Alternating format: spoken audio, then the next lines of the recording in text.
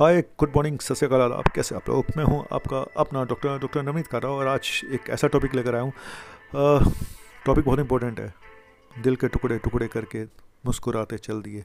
दिल से रिलेटेड ही है। टॉपिक ये है कि आ, अगर मैं कहूँ कि मुझे एक चीज़ एक ऐसा टेस्ट बताओ सिंगल ब्लड टेस्ट जो ये बता सकता हो कि मुझे आगे चल के हार्ट की प्रॉब्लम हो सकती है क्या? क्या मुझे स्ट्रोक हो सकता है क्या? क्या ब्लड क्लोटिंग हो सकती है क्या? यस सिर्फ़ एक टेस्ट है।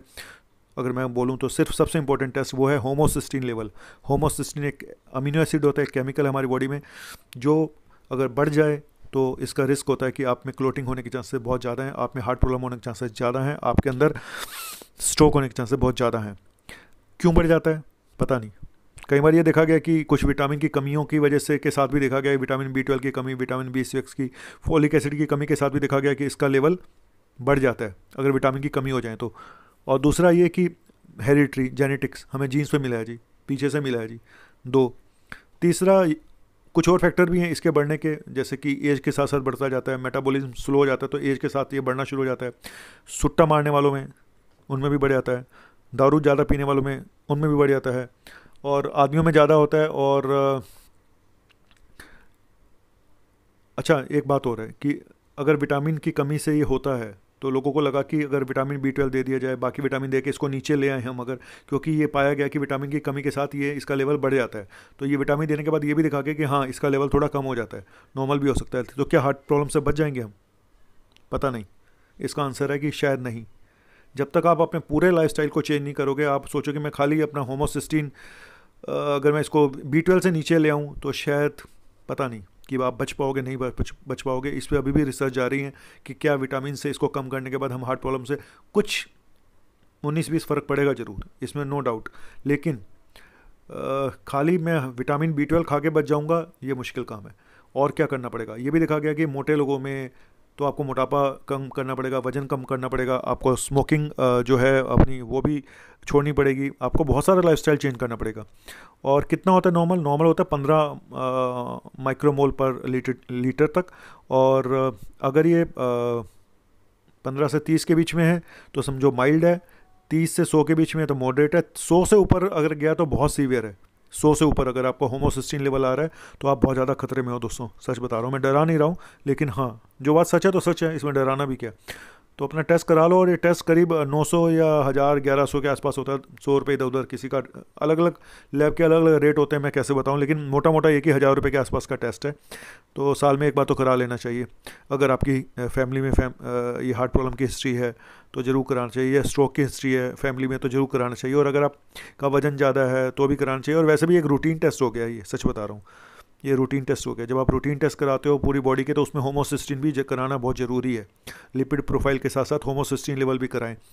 और अगर आपको ऐसे सिम्टम आ रहे हो जैसे आपको चक्कर से आ रहे हैं आपको आ, कुछ फेस पेल सा लग रहा है या आपको अचानक टिंगलिंग नमनेस हाथ पैरों में झंझनाहट से शुरू हो जाती है वीकनेस हो जाती है थकान लगती है पेल्पिटेशन हो जाता है तो ये विटामिन बी ट्वेल्व की कमी के सिम्टम हो सकते हैं। तो जब भी विटामिन बी ट्वेल्व की कमी हो तो आप हमेशा होमोसिस्टिन लेवल पर ज़रूर चेक कराएँ दोस्तों, क्योंकि ये देखा गया कि इनका आपस में संबंध है। और क्या विटामिन और होमोसिस्टीन लेवल अगर बढ़ जाए तो और क्या बीमारियाँ साथ में हो सकती हैं?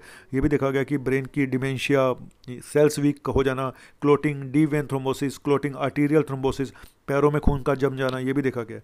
और इसके साथ में रीनल किडनी प्रॉब्लम भी देखी गई है C chronic renal failure kidney की प्रॉब्लम भी देखी गई है इसके साथ में, कि वो भी हो सकती है। सोराइसिस का भी इसके साथ एक रिलेशन देखा गया है। थायराइड डिसऑर्डर का भी इसके साथ रिलेशन देखा गया है और जेनेटिक तो ये हो ही सकती है, खानदानी तो ये हो ही सकती है।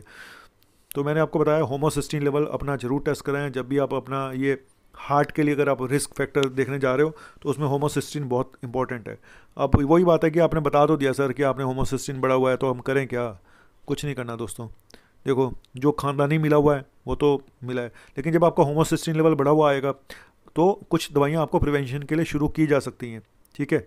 वो तो मैं अभी नहीं बताऊँगा कौन सी दवाइयाँ हैं, लेकिन हाँ vitamin B B twelve, vitamin B six, folic acid, ये तो हम देते ही देते हैं साथ में।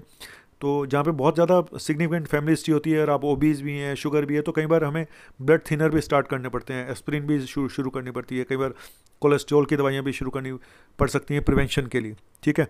तो ये था एक छोटा सा टॉपिक होमोसिस्टीन लेवल, और कैसा लगा अगर आपको ये टॉपिक क्योंकि दिल से रिलेटेड है, और दिल के टुकड़े टुकड़े करके मुस्कुरा के चल दिए। दिल के टुकड़े टुकड़े करके मुस्कुरा के चल दिए। यस दिल के टुकड़े कर करके मैं तो चल दिया।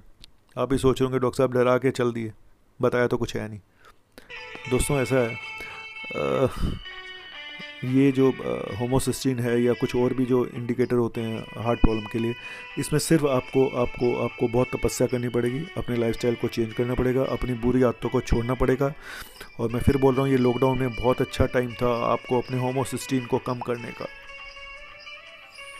पता नहीं, फिर बार बार बोलता हूँ, अभी भी टाइम है, अभी भी कर लो। नहीं तो ये जो अब आने वाली सर्दी है ना, उसमें प्रॉब्लम बहुत आएँगी, ये हार्ट प्रॉब्लम की, मुझे मालूम है। क्योंकि जो लॉकडाउन हुआ है ना, इसने कईयों के कोलेस्ट्रॉल बढ़ा दिए होंगे, कईयों का वज़न बढ़ा दिया होगा। अभी लोगों की समझ में नहीं आ रहा है। समझ में तब आएगा, जब बहुत देर हो जाएगी। तो अभी भी टाइम है, उठो, जागो। जब जागो, तब सवेरा। तो अभी भी जाग जाओ, क्या है? अभी शुरू कर दो घर में एक्सरसाइज है ना? पार्क अभी भी बंद है तो क्या हुआ? घर में कर सकते हो। देखो, जहाँ नीयत है ना, अगर नीयत ठीक है तो आदमी कुछ भी कर सकता है। जब नीयत ख़राब हो और कोई आपको अवेयरनेस करने वाला ना हो और आप अंदर से ही इच्छा शक्ति ख़त्म हो आपकी, या आपको इतना पता ही ना हो कि कि मैं कर क्या रहा हूँ। आने वाला कल मेरा कितना ख़राब हो सकता है अपनी बुरी हरकतों की वजह से, अपने तंबाकू की वजह से, अपनी सिगरेट की वजह से, या ज़रूरत से ज़्यादा ड्रिंक करने की वजह से। क्या बोलूँ? इट्स अप टू यू आपकी ज़िंदगी, आपके हाथ। मेरा तो हमेशा रहेगा साथ। मेरी जब ज़रूरत होगी आपको जब भी ज़रूरत पड़े, मुझे बुलाना हमेशा आपके सामने हाजिर हो जाऊँगा। लेकिन इतना देर से मत बुलाना कि मैं कुछ भी हेल्प ना कर पाऊँ आपकी। इसलिए बोलता हूँ, अपनी रक्षा खुद करें, अपने सामान की रक्षा सवारी खुद करें। क्या करूँ यार?